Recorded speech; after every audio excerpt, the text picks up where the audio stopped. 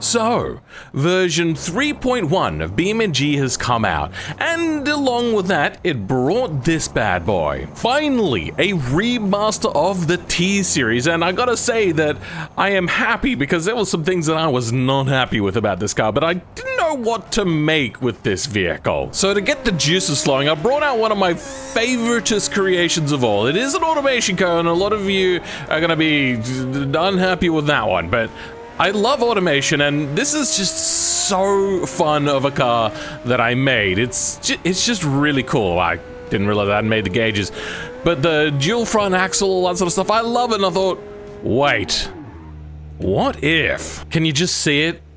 Can you smell it in the air? I think I have an idea. No, I'm not going to make a Formula One truck. No, that's just silly. What I am going to do though is try to do a little bit of a double front axle sort of thing and try to turn it into a fun drag car per se. Then I'm going to take it around Laguna Seca and see how it compares to my other race vehicles. But we can't just make a drag vehicle out of this because frankly, even with the most amount of power, it's just really slow. So, first things first, let's do the V12 mod. This has been sitting unactive for a long time. Let's go turn that on, then let's go into vehicle config, and then the engine. Huh. So they must have changed up some of the nomenclature for this to not work. And I'm gonna be honest, I'm not sure if I want to use the old one. Delatch, then come over here, and that delatches and opens forwards. That's something we didn't have before. But look at that engine detail. The diesel fuel distributor goes into the direct injector sort of set up there. Got the turbo, and this actually makes sense now because previously it did not make sense. Unfortunately, I don't have a version of the original one, but this is like it, it was just a weird setup and it made no goddamn sense. Like, the manifolds were just weird. So, I'm not gonna use this, I'm gonna work with the new files. And they don't call it the semi anymore. Oh, that'll be maybe part of the reason as to why my mod doesn't work. If you've been around for long enough, you know that I have a problem with their nomenclature, so let's hope that the new name is better than the old one. Though semi wasn't so bad, and it is called the US semi. Oh. Right. But hey, you know what? That leads me to think that they're going to do a semi quote unquote as like maybe a European one. I mean, they might do an Australian one, but let's be honest, they're just a mix of American and uh, European ones anyway. So, first things first, let's do the V12 mod. And if you like these sorts of videos, consider subscribing. Then, semi and semi mechanicals. I suppose that's a choice. It's probably under mechanicals. Oh my goodness. How long is that chassis? Hold, hold on, hold the phone. What the hell? Uh, you know what? There is one with a truck bit on the back. I mean, there's some longer ones, but my god. Don't need any of the frame rail stuff. The exhaust we're probably going to have to keep for now, but the rest of this can go away. Oh, you know what? This engine bay is a lot tighter than it was. I don't know if this is gonna fit. I could go for a VR12, kinda like they did with the Volkswagen engine, but mm, that's that's a tight fit. So I'm gonna undelete everything and try at least to make this work. So if we have a look, only that shaft is going to be in the way potentially. Uh, everything else looks fairly good. We're going to have to do some modifications to this pipe, but the rest of this flows properly now. So we got from the intakes into the turbo. The turbo then goes up directly into the manifold. No intercooler. Okay. You know what? I suppose I could have just looked here. Yes, there is one that goes over and one that goes through an intercooler. So I suppose we could start to figure out what it is we want to do. In fact, actually, it doesn't fit. Great work. do I just keep running with it, clipping through the freaking thing? Sure. Why not? Then right in the center there, active element. Uh, if we're going to have a 60 degree bank, we're going to rotate it 30. Except that's the wrong way around. Okay. And if we look closely, there are some things clipping. Really should have taken the turbo with it, so let's undo that. God damn it. Okay. We've got both banks rotated properly. There's a lot of work to be done here, and I think we don't need two manifolds either for the intake. So we'll figure something out there. Then these pipes are going to have to be modified. Ah, finally, and it's messy as hell, but I do have 12 fuel lines. I wish I could have reused theirs, but oh god, it's still not even perfect. I mean, it's never going to be exactly perfect because I'm just not a 3D modeler. It's not my skill set. But yeah, that's basically finished now. After doing all of these changes on this far superior model, but still a difficult model to do what it is that I'm doing without having to put in a whole lot more effort than what I want to put in, we're done. So, let's grab these and- oh wait, I have to do the exhaust as well. But you know what? Actually, that doesn't look so bad. I think I'm willing to live with that. Okay, let's go ahead and grab our engine bits. Then make sure that when we export them, select it only. Then from the semi, we're gonna grab the engine. Don't need the engine mounts because that already works. And we gotta give it a unique name, so I'm thinking the Filasco diesel. Sounds good to me. Uh, the turbos are gonna have to change because we have created our own turbo uh, mirrored thing. Maybe, sure. So, do we have many other turbo things? Yes, we do. All right, well, that's all gonna have to change to something like a V12 turbo. Now we double all the powers. 220 becomes 440, 450 becomes 900, I think? We now have the node weight, and this has to get an extra 50% on as well, so we're at 144. Let's break out a calculator. 144 times 1.5, 216. This is going to end badly. Ah, back into BeamNG, Control L to make sure that it recognizes that the mod is even there. Then if we go into front frame engine, Filasco Diesel 1800 CIV12. I hate you. What I haven't done is I haven't grabbed this engine and plopped it into the flex body section. There, let's fix that. Uh, this was also an extra V12 in there. And refresh. Okay, what do we have here? Uh, this is all looking fairly good. It doesn't look like... Well, I don't know why there's exhaust poking out that way, but it doesn't look like it has everything on here.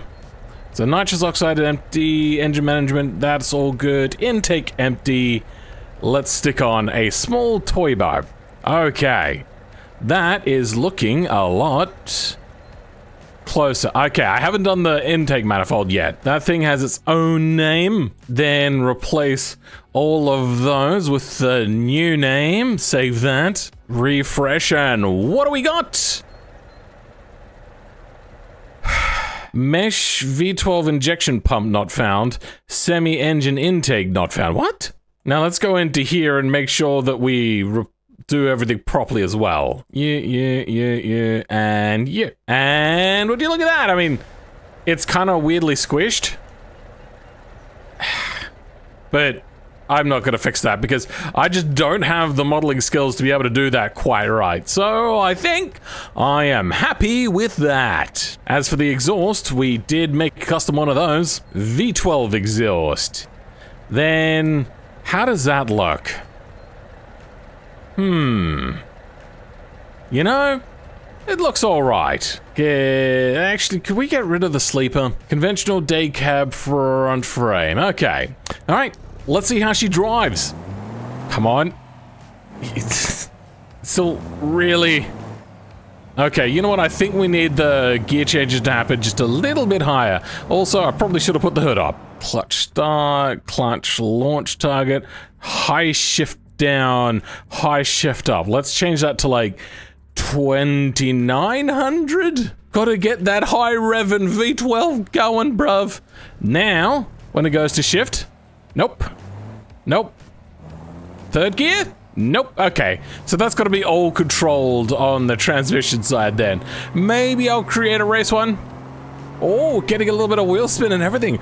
Oh, fancy. I think this would be a little bit more nippy if we had a lighter chassis though.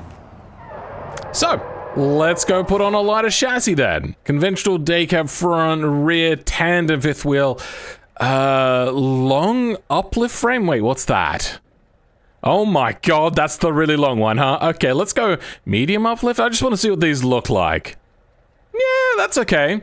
Uh, if I could have that in a super single or a single, that'd be great. Looks like the only single suspension setup is in a short frame though. And I don't want to have like an eight wheel, two at the front, two at the rear. I, ju I just I just want one set. See, that's a...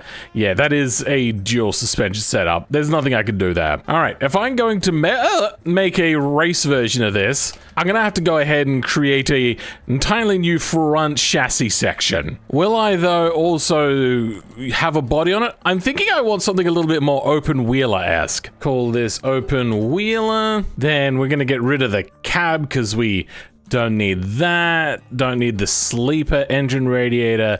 Exhaust is good. Fuel tanks are good. Side steps. Ah, we could leave those on there. Front bumper we're gonna leave and axle we're gonna leave. Now we have the open wheeler front frame. You know, I just realized what it is that I'm doing. I'm basically making an exo car for the truck. Oh, I have a problem. Let's grab our frame. Oh god, there's a bunch of them, isn't there? Hide, yep. Uh, that's the one we need. Then in our working files, plop you in. Let's grab you and then move you forward so then you don't interfere.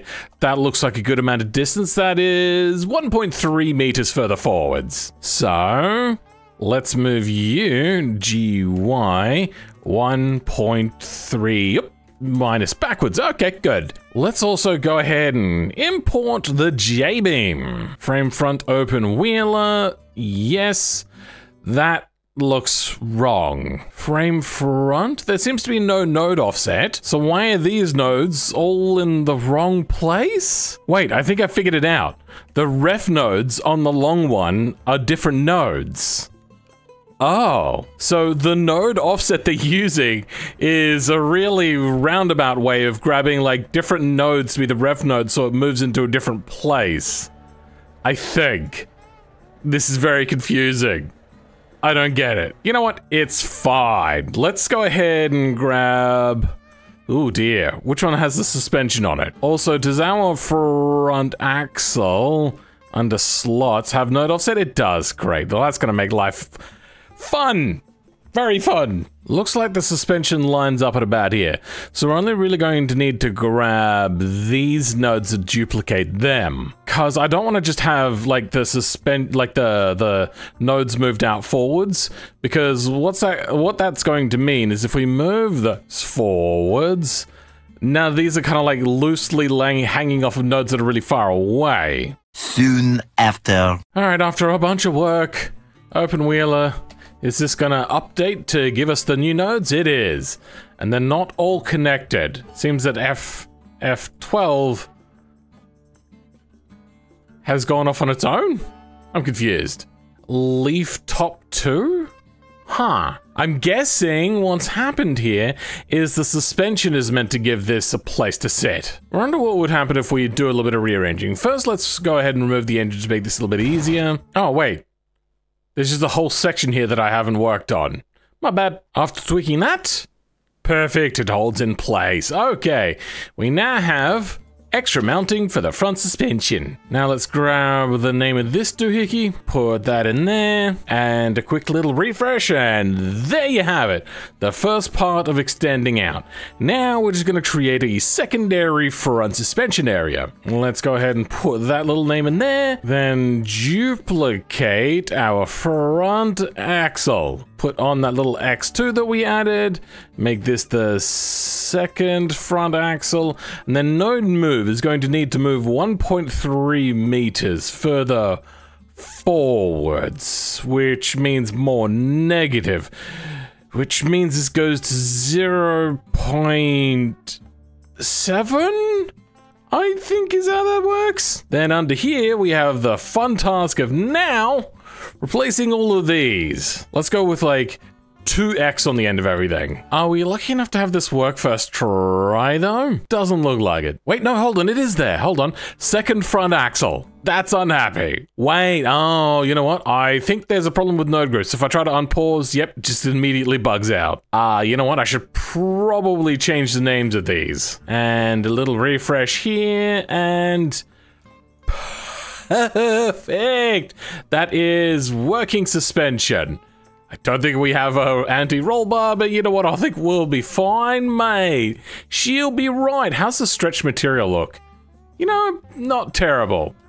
You could clearly see the dividing line there, but I reckon once you get the engine in, it's not going to be a problem. I see nothing wrong here, except for the fact that this is kind of in the wrong place. God damn. Uh, let's try putting a bumper bar on.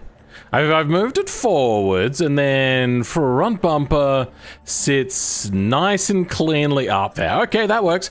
Let's go ahead and make a new wheel. So we can't just use normal wheels because they are specific to those nodes. We're gonna have to create an entirely new wheel as well. 10 lug front hubs go into demountable rims front hubs. Then we got some wheel darters. Okay, it doesn't look like it's here. Oh, it's actually its own little thing here. Okay, so we got split DAE. So we got some DAEs, got some tires and some wheels. Call this 2X for being extra axles. Then I'm only going to bother to keep the aluminium ones just to keep make my life a little bit easier. I just realized we are also going to need those hubs. Damn it. Drag those in and start converting that as well. I wonder if it's so simple though. We got the mm, second front axle, front hubs. Oh, okay. Steering? Um, ah, I haven't changed the flex body stuff. Looks like that's in the reference though, so we can just go 2x and 2x. Now, Perfect. Now, I do know that the front steering is meant to turn more than the middle one, as to, uh, because they're going to be, like, the, the circumference of the turning circle is different between the front and the rear. This is something that I did on this car, though it's a little bit hard to tell. It is actually slightly steeper on that one compared to that one. So I probably should do that, but I don't remember how to do the math, and I don't want to. So, How's our open wheeler going? I reckon it's pretty sick, bruv. I just want some big drag tires on the back. I've, i think I've done that before. I wonder if I enable that mod. It probably actually won't work. Damn it. You know what? It's fine. For now, let's go into the intake and put on a big turbocharger. In fact, actually, you know what? It's something I haven't. oh wait, where'd the intake go? Then, oh no, the airbox is a part of the body, isn't it? Oh, well, they're going to open up into air. That's fine. I think I want to put a seat on the back and kind of turn it into a bit of a tractable exo cage sort of thing. Just, you know, for the absolute hell of it. God, I wish I had some sort of like massive super single for the rear. Well, I wonder if that's an option. Hold on, hold on. Come to a stop. Great brakes. Rear frame, rear suspension, wheel hub, demountable rear hubs. Rear wheel? There's only one option. Okay, let's go with like a 10 lug. Does that change anything? Doesn't look like a rear wheel. Aluminium rear wheels.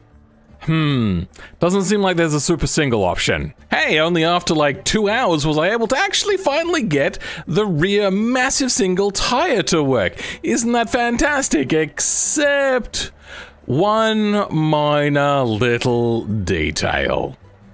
Huh. Okay, so I have two options. One, drop that suspension down a little bit, or two, raise the suspension up a little bit. Hmm, I am incredibly tempted. Sure, uh, you know what? I think we got the thumbnail, but instead I'm going to go back to the old tires. Because I do want to actually take this thing around a racetrack around Laguna Seca. Why is it spawning in the ground like that? Do you, do you hate me? Okay, that's fine. Oh, oh, hold on. Gotta get into position. All right, let's try giving it a start. We've got a hot... We're gonna leave the differential... I've never had such a violent launch like that. How does BeamNG make that mistake? Come on, I know this is a custom map at all, but come on! Really? Now, I did consider putting a big giant wing on this, but there's two reasons why I didn't. One, this thing doesn't even really go that fast, if we're gonna be entirely honest. Oh my god, that is a nightmare. That is... that was so scary. Uh, and two, the truck weighs so goddamn much, you would have to have a huge amount of downforce. Now, I know that this thing has a lot of torque, so it can push through it. Why is the rear brakes locking up so much? My god. But you would be adding so much downforce. Okay, this time we're gonna brake from further back. We really lock up the brakes way too easily. There we go. Okay, third gear is too short there. The gap between third and fourth is pretty cacophonous. Just saying. I could be in low range, but that's too many gear shifts. Can we go through here in four, fifth gear? Yes, we can. I might have to switch to a paddle shifting because I think we got more gears than what I have in my little piddly little shifter from Logitech. oh, that's not gone well. That's fine. We're gonna push through. Now, I'm guessing that this is going to be pretty goddamn slow. I'm not I'm not a complete idiot. But I'm not expecting it to be the slowest. We have had a woefully slow cycle cart around here. Now, it's not going to be blisteringly faster, but it is going to be faster. I also did add that extra front steering angle that I was talking about, but I have no real way to properly measure it because BeamNG doesn't have like an orthographic view. And I can't break out a protractor. Why does it only look up the rear brakes? Oh my god. What the hell? We don't have front brakes on! What the hell? Why? Okay, well, they're on now. Get through there. Yes, okay, good. Alrighty. Get turned in. There we go. Up into fifth again. We've not gone beyond fifth, so I don't even know if there needed to be extra gear, to be honest. Oh, okay. This isn't going well. Ah, and I changed gears too early, and we spun it. God damn it! Okay, this time we're coming up. We're gonna take this one a little bit gingerly. Oh, that's not ginger. That's not ginger. I braked at the tire marks. I thought that I had it. Come on! I was doing so well! Oh boy. Alright, here we go. Final few corners coming up at you. See, this one feels quite nice. A little bit of brake. Get turned in. A lot of drift on the exit. We're fine. That felt cool. Now here, brake nice and early. For some reason. Has to be super early. Third gear. And then power it all the way down to the end. Come on, come on, come on, come on. There we go. 225, we are the fastest we ever been because I realized we could go so much faster around corners. And a 2 minute 30, basically. Oh my god. That's actually really fast. like, the only thing that's, like, it's only a little bit slower than the Toyota 86 by 11 seconds. Oh my god. That's how fast this thing is. That's insane. Ah, good golly. Those exhaust stacks are not holding up well. That's a pretty good build. Damn it, after reloading, I forgot to put the front brakes in. Damn it, I'm not doing that again. You know, I gotta say that even without the front brakes, this did a really good time. And with the front brakes, oh my god, it actually handles, one may say, in a reasonable way. It's not as bad as you might think, which is the first thing that comes to mind. With those low tire pressures, this thing manages to be able to turn in quite nicely without having too much trouble. I mean, sure, okay, brakes are pretty sucky at the moment, as just proven by then. But oh god, I love this thing so goddamn much. You know who else I love? My channel members, and that specifically includes for a really long time now. Thank you so much. The Rogue Tick, the Crayon Priest, who is a top tier channel member. For the rest of you, though, I hope you're gonna go try out this mod. I'm gonna be obviously submitting it to the repository. It will be up on my Patreon, though, if you want uh, a little bit of early access there. But yeah, it'll take a little bit of time for it to get approved on the repository. Uh, sometimes things can take way too long to get approved. So hopefully I've done everything right here. Hopefully this will work. But uh, for now, I'm going to have to wrap up this video. So I'll catch you all next time. Goodbye.